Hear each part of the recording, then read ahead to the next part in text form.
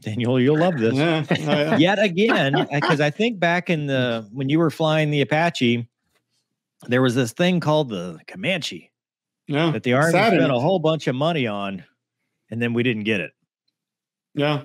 Uh, I was in flight school and they had a, uh, they brought the Comanche tent out there and they had us all check it out. And uh, we, I sat in the mock up of the Comanche. And the big thing about it was um, it didn't have pedals.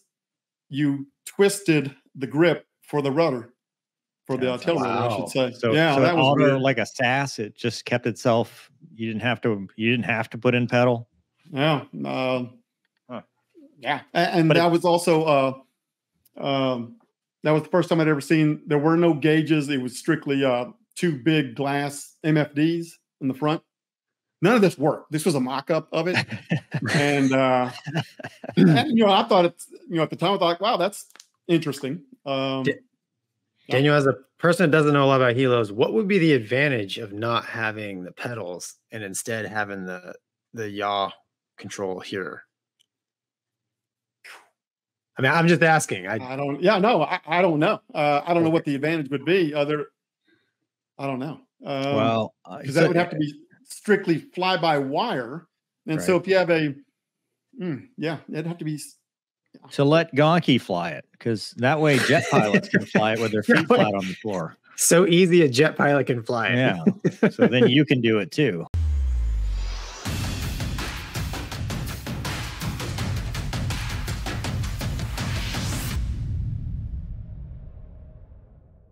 But it was a test bed. Um, what, you know, when they canceled that program, I think I was in Afghanistan or right about that time when they canceled it. And I was thinking, wow, that, what a waste of money and all. And, uh, and some of the uh, senior maintenance guys were saying like, no, actually we learned a lot and it kept the, it kept the research and development fund um, going and all. And that's what they said. We got uh, CMWS, Common Missile Warning System. We got from that, from the Comanche program.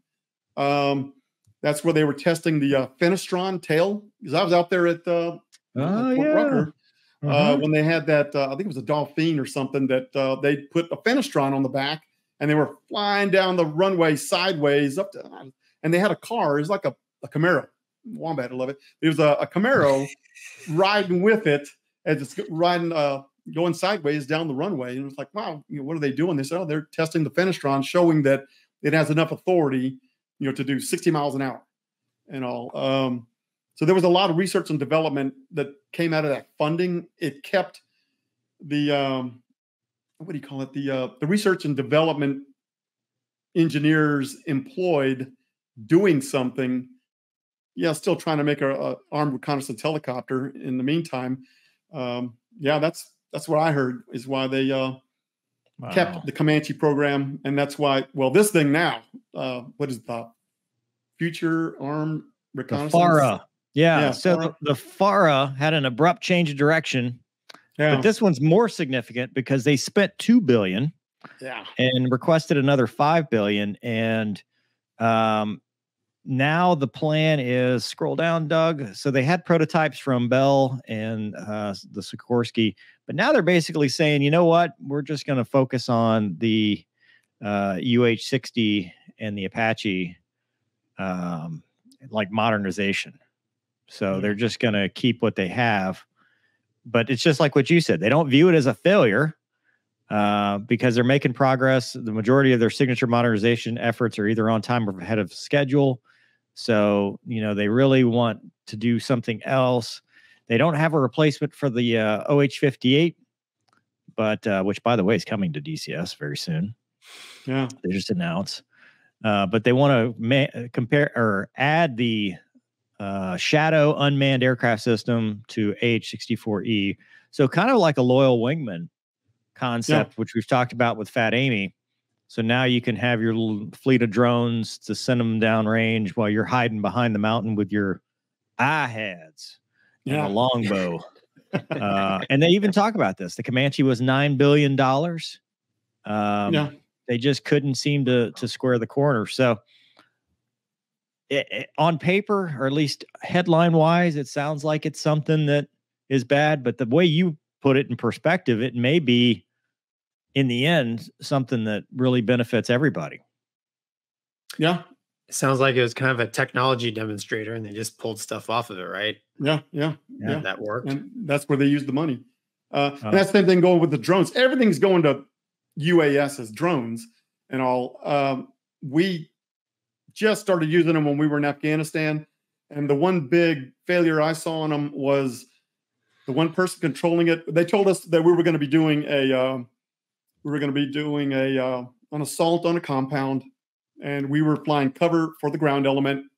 The drone was up high, and uh, next thing you know, the assault's starting, but it's about a K or two away from the actual where the coordinates were that they gave us. And the drone, the big, big voice in the sky was saying, like, hey, um, there's still nothing going on. And we're like, hang on. The fight's over here. Go over here these coordinates. And they're like, nope, we're looking and nothing's going on. Like, it's over here. The fight is over here. Quit looking there. It's over here. And uh, they're like, nope, we are on the target and there's nothing going on. And we're like, hmm. yeah. So we let them go and went on with the uh, the guys uh, doing the assault and all. So that was one of the big deals on that. Um, now, obviously, drones are being used a lot more, and the Echo model can control the front seater control can control uh, Oh, wow. a drone now. But that I think y'all had talked about it before, maybe with Casmo or not, but uh, uh, pilot overload. Now you're Mhm. controlling not only the, the helicopter, your your targeting system, your front seaters doing the targeting system, the radios, uh, your back Oh, seaters God. flying the aircraft, and uh, keeping an eye out around the aircraft. And now he's also got to control a UAV. So yeah, you got a lot going on up front, or you got a lot going on in, in a helicopter. So who knows if that's how they're going to make it uh, with all this research and development, make it uh, better, easier to to manage all that information. Sounds like you guys need like a, a Hawkeye type uh, helicopter command and control of drones. Yeah, yeah, yeah, yeah. So, Yeah. or they could do like uh, clearing turn, like the Mexican government did uh, down there in McAllen. Um, they had told us when we were down there, they said, "Hey, the Mexican government is bringing their drone down, and they're going to be flying along the border also. So we need to stay away from our side of the border, stay away from the river by at least a mile, because their drone is going to be patrolling on the south side of the river, and they're going to be uh, hugging up on the, the river and all. And they showed us a picture, and I was telling you, the picture of their drone was a Cessna 172.